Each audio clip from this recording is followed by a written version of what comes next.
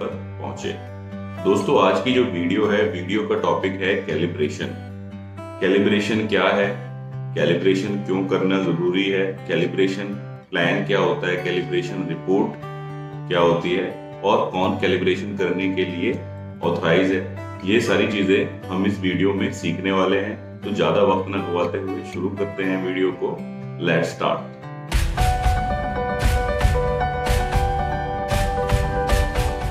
दोस्तों, जैसा कि आप लोगों को स्क्रीन पर भी दिखाई दे रहा है, आपने अक्सर इंस्ट्रूमेंट के ऊपर इस तरीके के स्टिकर देखे होंगे। जो लोग नए आते हैं इंडस्ट्री के अंदर, जैसे फ्रेशर होते हैं जीईटी होते हैं या डीईटी होते हैं, उनके लिए बिल्कुल एक नई चीज़ होती है कि भाई, ये किस चीज़ का स्टिकर लगा हुआ है माइक्रोमीटर के ऊपर या वर्नियर के ऊपर या डायल गेज के ऊपर। और इस स्टिकर के ऊपर लिखा होता है, भाई कैलिब्रेशन इतनी तारीख को हुआ था और नेक्स्ट कैलिब्रेशन इतनी तारीख को ड्यू है। साथ में जिस भी कैलिब्रेशन लैब से हमने कराया होता है, उसका नाम लिखा होता है इंस्ट्रूमेंट का नंबर लिखा होता है। तो इसको हम क्या बोलते हैं? ये होता है हमारा कैलिब्रेशन स्टिकर जो हमें ये सूचना देता है कि हमारा इंस्ट्रूमेंट कब कैलिब्रेट हुआ था, कब तक ये कैलिब्रेशन वैलिड है, और किस जगह से ये कैलिब्रेशन कराया गया है। अब ये कैलिब्रेशन होता क्या है? कैलिब्रेशन एक प्रोसेस है जो कि एक इंस्ट्रूमेंट की एक्यूरेसी को नापने के लिए इस्तेमाल किया जाता है। जो हमारा मेजरिंग इंस्ट्रूमेंट है उसको एक हम स्टैंडर्ड इंस्ट्रूमेंट कराया मुकाबले या उसके कंपैरिजन कैलिब्रेशन करते हैं होता क्या? हमारा है? इंस्ट्रूमेंट कितना कैलिब्रेशन एक प्रोसेस है। जो कि एक इंस्ट्रूमेंट उसमें एक्यूरेसी को नापने क्या के ये measurement के लिए है? ओके है जो हमारा तो instrument reject है, गया उसको एक हम स्टैंडर्ड इंस्ट्रूमेंट के मेजरमेंट्स मुकाबले करें या उसके कंपैरिजन में चेक सही हमारा आएँगी या नहीं आएँगी तो यही सारी चीज़ें कैलिब्रेशन दे रहा है चेक की जाती है। उसमें और कितना इन शॉर्ट में बात करूँ क्या ये तो कैलिब्रेशन एक ऐसी प्रक्रिया है जिसके ऐसा अंदर तो नहीं हमारा रिजेक्ट हो गया उससे है, जो इंस्ट्रूमेंट से standard मेजरमेंट्स equipment करें या मास्टर इक्विपमेंट के साथ सही reading किया जाता या है नहीं आएँगी, तो यही सारी चीज़ें कैलिब्रेशन में दे रहा है। चेक की जाती है। जैसे इन शॉर्ट बात करूँ दो ग्लास दो कैलिब्रेशन एक ऐसी दोनों ग्लास है 200 जिसके ml के। हमारा मेजरिंग एक X है उसको का स्टैंडर्ड इक्विपमेंट या मास्टर उनके डाई में कुछ फ़र्क कंपेयर किया जाता है। एक स्टैंडर्ड लिया 200 ml दे रहा है।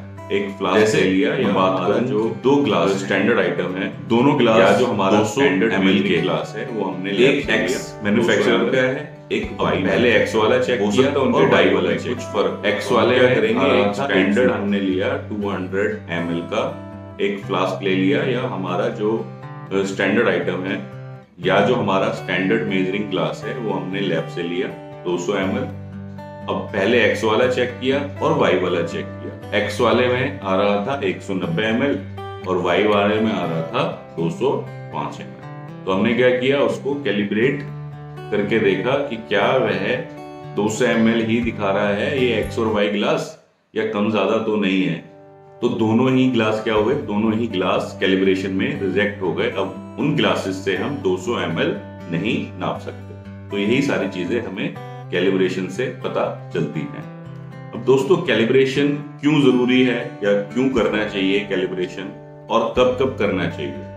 बेसिकली जब भी हम कोई इंस्ट्रूमेंट यूज़ करते हैं, चाहे वो माइक्रोमीटर हो वर्नियर हो डायल गेज हो हाइट गेज हो सरफेस प्लेट हो तो क्या होता है, समय के साथ साथ और यूज़ के साथ साथ उसमें वियर टीयर आ जाता है कि वो चीज़ें, उसकी पार्ट्स जो है घिसने लगते हैं, कुछ टूट फूट जाते हैं, जैसे आपको यहाँ स्क्रीन के ऊपर भी दिखाई दे रहा है। ये हमारा इंडिकेटर है, इसका ये साइड से शीशा टूट गया। अब ये साइड से शीशा टूट गया तो इसके अंदर क्या है डस्ट वगैरह चली गई। तो क्या ये रीडिंग सही दिखा रहा है? नहीं दिखा रहा। भाई, ऐसा तो नहीं है डस्ट जाने से सुई उसकी सही से ना चल रही हो। डस्ट जहाँ से सुई चलती है, वहीं पे जाके चली गई हो। या ये जैसे माइक्रोमीटर है, बड़ी ही खराब हालत में धूल मिट्टी इस पर लगी हुई है। तो क्या ये सही रीडिंग दिखा रहा है? ऐसा तो नहीं है, धूल मिट्टी के कारण। क्या है, ज़्यादा इसके अंदर वियर टीयर तो नहीं हो गया? तो यही सारी चीज़ें हमें किससे पता चलती हैं? कैलिब्रेशन से, कि जो हमारा इंस्ट्रूमेंट है वियर टीयर की वजह से खराब तो नहीं हो गया रीडिंग तो गलत नहीं दिखाने लग गया यह हमें कैलिब्रेशन से पता चलता है। अब कैलिब्रेशन हमें करना कब कब चाहिए? किसी भी इंस्ट्रूमेंट का या कब कब कराना चाहिए? दोस्तों कैलिब्रेशन जो है, वो डिपेंड करता है उसके यूजेस पे इंस्ट्रूमेंट के।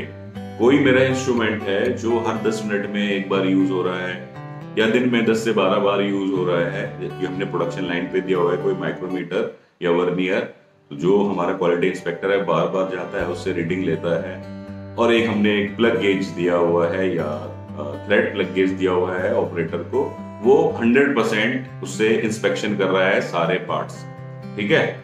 और एक हमारे पास है प्रोफ़ाइल प्रोजेक्टर हमारे पास इतने क्रिटिकल पार्ट्स नहीं है, लेकिन हमारे पास प्रोफ़ाइल प्रोजेक्टर है जो कि हम हफ़्ते में एक बार यूज़ कर लेते हैं जब कोई नई सेटिंग शूटिंग लगती है तो हमने हफ़्ते में एक बार चेक कर लिया उस पर तो ये तीन एग्ज़ाम्पल हो गए। एक तो मेरा गेज है, जो मैं जिससे हर पार्ट चेक कर रहा हूँ। एक मेरा माइक्रोमीटर है, या वर्नियर है, जिसको मैं दिन में कम से कम 10 से 15 बार यूज़ कर रहा हूँ। और एक प्रोफ़ाइल प्रोजेक्टर है जो कि मैं हफ़्ते में या 10 दिन में एक बार यूज़ कर रहा हूँ। तो तीनों की जो कैलिब्रेशन फ्रिक्वेंसी है, वो सेम नहीं हो सकती।